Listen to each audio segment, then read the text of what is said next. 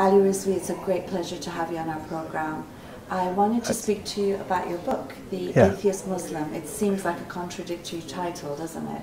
It does, and uh, the publishers love that, right? As you know, this is a very catchy title, uh, but uh, it's not a self-descriptor. What it actually is is it addresses the countless uh, atheist, agnostic, secularist uh, people who live in the Muslim world who have to publicly identify as Muslim. Because if they don't, not only are they disowned by their families or ostracized, or marginalized from their communities and their society, uh, but they can be prosecuted. I mean, they can be uh, put in jail. They can be hacked to death like the bloggers in Bangladesh. They can be uh, flogged like Raif Badawi in, in uh, Saudi Arabia. So this speaks to them. Uh, they're closeted, they're atheist in thought, but they're Muslim in presentation um, because they're forced to be. And, and those are the atheist Muslims. Their, their existence is contradictory, they're living a contradiction. So the title addresses and respects that. And uh, you know, you talk about all these people who've got in touch with you, who Mm-hmm. uh, feel that this, even this title, speaks to them, and it also speaks to you too, with the uh, things that you like, parts of the things that you like, and things that you don't. Right. Um, can you explain that a bit? Yeah, when I, uh, when I announced the title initially, I started hearing from a lot of people in the Muslim world who were atheistic, or they were secular at least. And uh, they said, Oh, that describes me, that's who I am.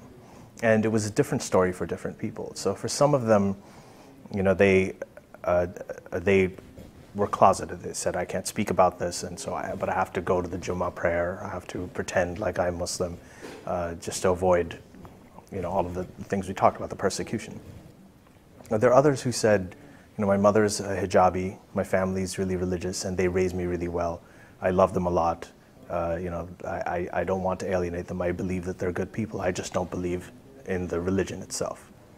And uh, so, you know, they celebrate Eid or they celebrate the rituals and the, and the holidays, but they, they don't carry the belief.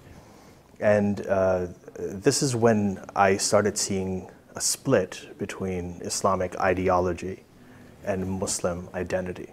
I realized Islam and Muslim are two very different words. Um, Islam is an idea, it's defined by the scripture. You know, it's actually pretty straightforward. You can't deviate from it. If you do, uh, it's called heresy, it's called blasphemy, it's called apostasy. There's you know, different degrees of terms for it. Uh, on the other hand, Muslim is uh, really is not a monolith. I mean, you've got uh, 1.6 billion Muslims in the world. The vast majority of them don't even speak the language of the Quran, which is Arabic.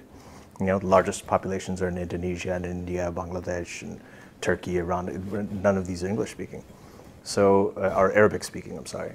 So they, the the Muslims as a community, the Muslim identity is much much more diverse, and there's a lot more heterogeneity um, and diversity in the way that people think. And Islamic ideolo- uh, identity is a completely uh, different thing. That, that's really what the book uh, discusses.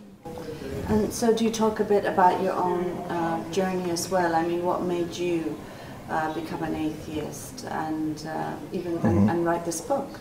Yes, the, so the, uh, the book is um, semi memoir. It is a lot of it is a memoir, uh, and I do talk about how I was raised. And I, I grew up in uh, three different Muslim majority countries: uh, in Libya, in Saudi Arabia, and in Pakistan.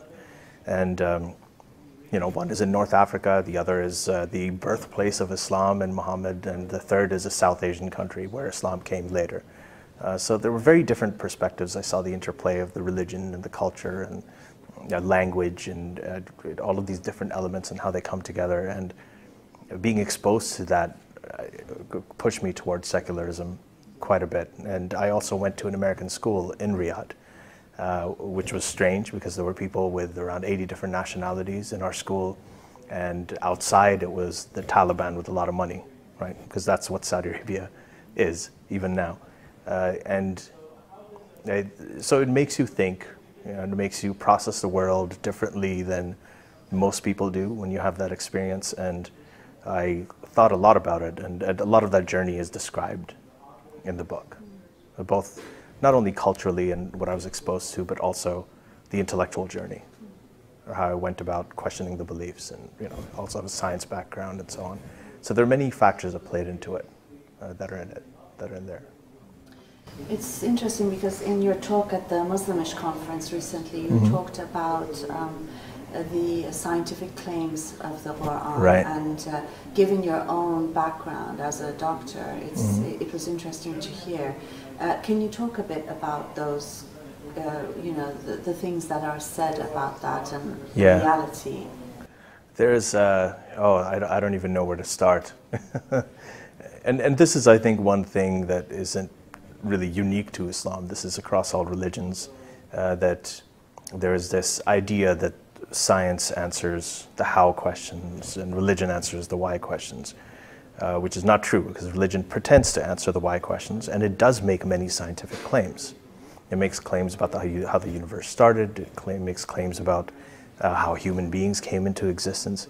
Um, uh, it, it makes all these strange supernatural claims like you know men living inside fish and uh, you know a man flying up to heaven on a winged horse, resurrection after death, uh, virgin births. So all, all of these are scientific claims, and they can be refuted. Uh, so uh, the, what people talk a lot about when it comes to the Quran, a lot of the apologists talk about the embryological claims.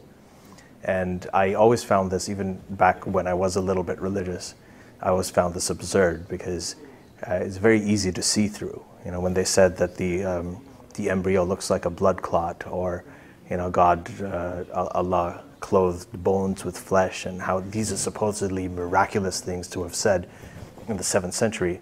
Well, Aristotle did it with chick embryos. You know, there's uh, what the Quran describes is if you take an egg, a fertilized chicken egg, you open it up at different stages, and you just describe what you see. Um, th- that's all it is. There, there's there's nothing miraculous about it. There's nothing. Uh, Aristotle wrote about it. Galen wrote about it before, uh, and you know, in I think the third century BC or even earlier than that. So I never found this original. I don't know why people are so enamored with it, and that includes um, internationally renowned embryologists like Keith L. Moore, uh, who now he's gone back on it, but at that time uh, he, was, he was very enamored by it. So I, I, I like to have those discussions. I like to refute them. Uh, I enjoy talking to Muslims who make those claims and uh, discussing why I think that they're wrong. And, and there's a whole chapter in my book called Choosing Atheism. I think it's chapter five. Uh, so I, I went through a lot of those claims specifically and a lot of the verses in the Quran uh, about embryology and about science and uh, talked about how they can be refuted very easily. Yeah. So, I mean, for someone who is thinking about becoming an atheist or questioning uh, religion, what are some of your main arguments uh, when it comes to Islam? Uh, Like someone in Iran watching this program right now. Oh. My uh, main argument, what I tell people who believe, is uh, that if you want to get to know me and you can't see me, supposing I'm, I'm dead, it's a long time afterwards, you're going to try to see what I left behind. The way to get to know me is to read my books, see what I created. Um, and if you do believe that a creator created this universe around you, right? If you believe that a creator created nature, then study nature. You don't have to go to a book thousands of years ago or a hearsay from a Messiah or a prophet who claimed, you know, that they, they were sent by God. You, have nature around you today. You can study it. And there's a word for that. The study of nature is called science. And the language of science is not Arabic, it's not Hebrew, it's, Arama- it's not Aramaic. The language of science is mathematics. And mathematics unlike the other languages, stays the same, whether you're in Israel, whether you're in Gaza, whether you're on the moon. And it's better to ask real questions than take refuge in false answers. That's, the, that's how I would sum it up. Uh, I mean, some would say that um, there isn't a contradiction between religion and science. Uh, and I guess, um, uh, is that something you might, you, you obviously wouldn't agree with, but why? Or do you think there's any way that religion and science can be accommodated?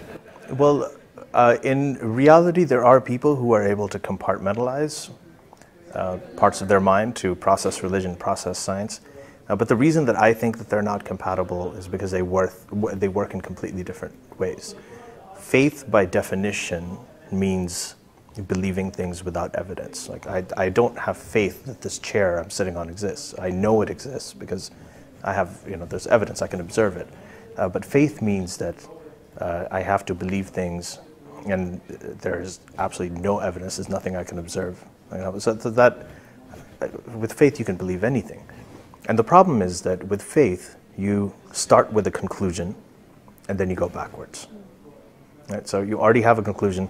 The Quran is the word of God, Muhammad was a messenger of God, and uh, now we're going to go back and we're going to look at the science and see where it fits. So it, it, you're automatically in a position of selection and confirmation bias. Um, with science, you, you generate a hypothesis and you don't try to just prove it right, you try to prove it wrong. Right? So falsifiability, hypothesis generation, null hypothesis generation. The scientific method is based on starting out with the presumption that you're wrong, which is the opposite of a conclusion, and then working along, picking up evidence in, in an unbiased way, and then landing at a conclusion. And even those conclusions are often not hard and fast. You, you never, proof is, the word proof is a, a taboo word in science. You say that there's evidence for something or another, you don't say that this has been proven or not. So I, I, I feel that's more honest. Uh, I think that it's a completely different phenomenon from the way faith works. It's actually antithetical to it. So not only are they not compatible, uh, they, they work against each other. And this is why historically there's been such, they've been at loggerheads with each other for so long. Thank you very Yeah. much. Thank you, Maryam. Appreciate it.